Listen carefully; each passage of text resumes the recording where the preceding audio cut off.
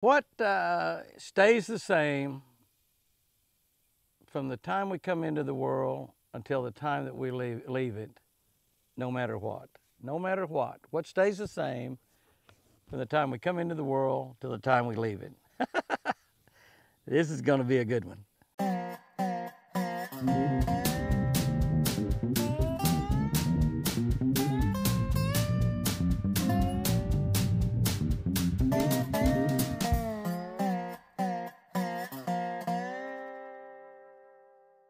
Good morning, guys and girls. August 3rd, August 3rd, looking at 1 Timothy, the young preacher Timothy. I'm telling you, you know, Paul wrote some of the greatest advice to young Christians when he wrote to Timothy, telling him how to conduct his life, how to lead it, how to, you know, what to think about, what to do. 1 Timothy 6 7, and it says, it says, We brought nothing into this world, we brought nothing into this world, and we can take nothing out of it. That's what stays the same. We brought nothing into this world, we're going to take nothing out of it. All tournaments start with everybody at zero. We're not handicapped by any scoring system. We all have empty live wells. When that tournament kicks off, we all have an empty live well. Within minutes after takeoff, the standings begin to change. When we all took off, we're either all tied for first or all tied for last, whatever. But within minutes after we take off, the standings start to change. We all have a chance throughout that tournament to win or to lose. We're born into this life with absolutely nothing. And then within seconds, we're wrapped in blankets and, and we begin to acquire stuff. That's exactly right. We begin to acquire stuff. As a matter of fact, in today's world, before a baby is ever born, that baby has acquired stuff. As a matter of fact, I know a lot of grandpas, granddads that have bought a rod and reel for a grandson or a granddaughter before she or he was ever born. Now, I can't imagine people doing that. I've bought a few of them. before they were ever born, they had a rod and reel. So they started acquiring stuff. In the United States, we have the opportunity to acquire staggering amount of possessions. But at the end of the li- end of our lives, we all leave with exactly what we started with. Nothing. Nothing. Sure, many people have been buried with mementos, jewelry, prized possessions, even money. But all that stuff remains in that box as we move on. Where we go depends not on what we own, but on who owns us Jesus or Satan. Isn't that amazing? Think about that for a second. That's just like a, that's a pretty good situation right there. You know, we have so much stuff in this country.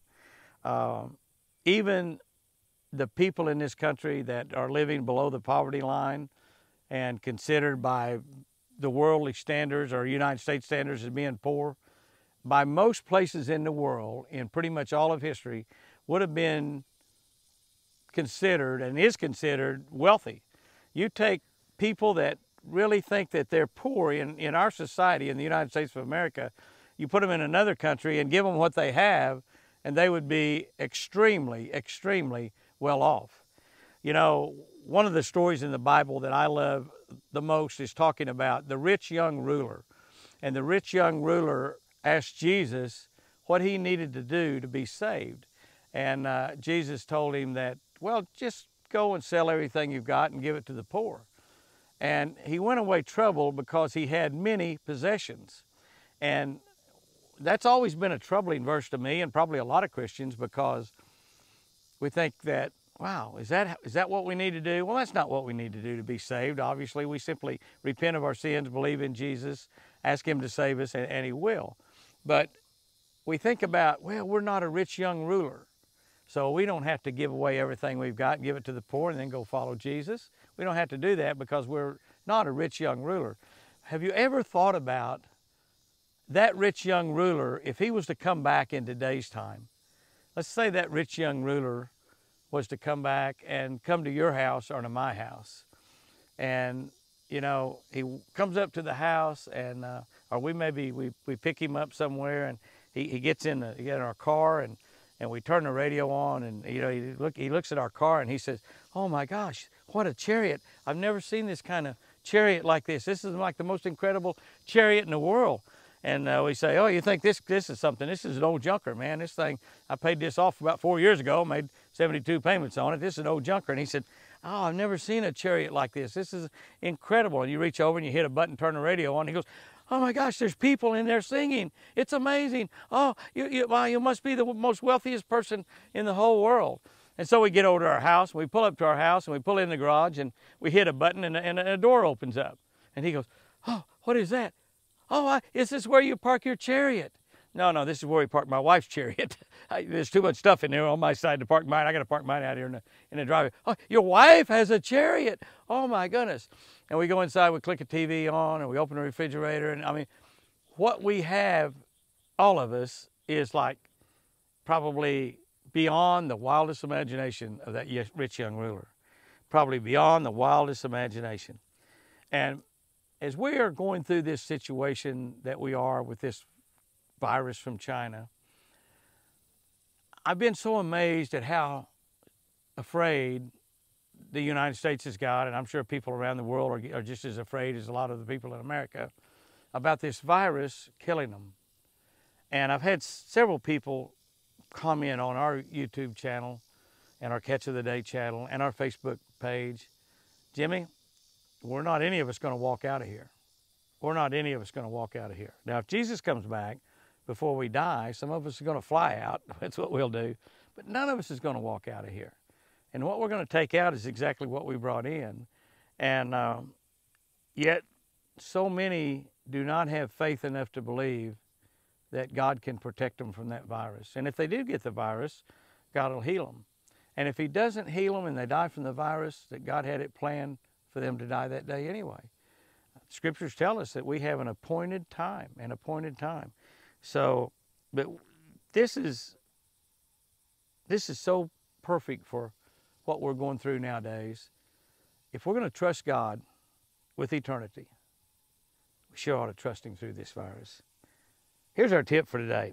It's about tournament fishing. When you call during a tournament, mark the next two or three fish that you want to call. So mark the next two or three, like the smallest one and the next smallest one and maybe the next smallest one. Most of the tournaments that we fish uh, in the last several years have been five fish tournaments. So when, and I never mark the fish ahead of time. A lot of guys do. But, uh, but once you call, then, and what I do, I use the, the, the little marking system. It's got the little uh, bobbers on it or little balls on it and they're different colors. I use red, white, and blue uh, being patriotic. I use red, white, and blue. And so I catch my six fish, I'll throw the smallest one away.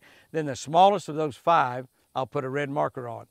The next one I'll put a white marker on, the next one I'll put a blue marker on. So when I get in there, I can grab the, the marker that's red, pull that out, put a bigger, and if it's fish I've just caught's bigger than that, throw that fish back. So when you call, be sure to mark your next two or three fish that you want to call and hopefully you'll get to be marking fish all day long. Guys and girls, go out there and have you a great one today, and remember, I love you.